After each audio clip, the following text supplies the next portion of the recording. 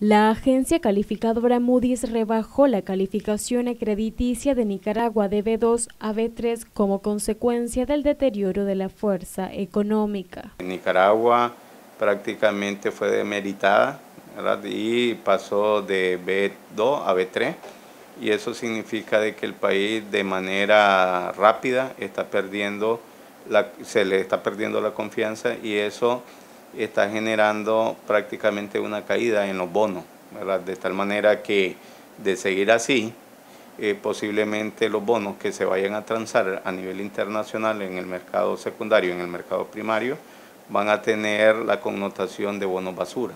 Y esto significa prácticamente de que cuando se pierde la confianza en un país, eh, los bonos no valen ni siquiera el papel en que están impresos.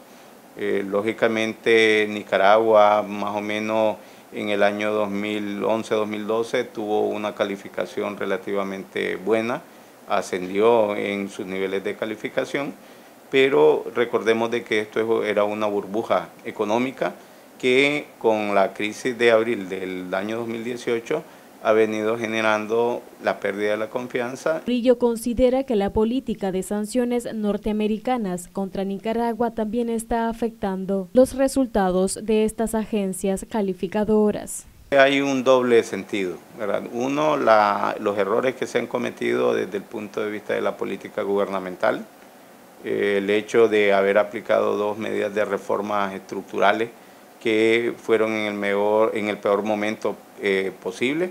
Y el segundo elemento, eh, el peligro que tiene la política exterior norteamericana con las medidas de sanciones que están comenzando con sanciones individuales, pero que en determinado momento podrían ser sanciones de país.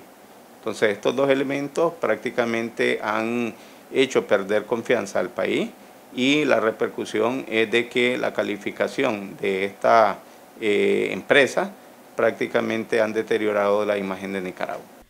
Noticias 12, Anduriña Ortiz.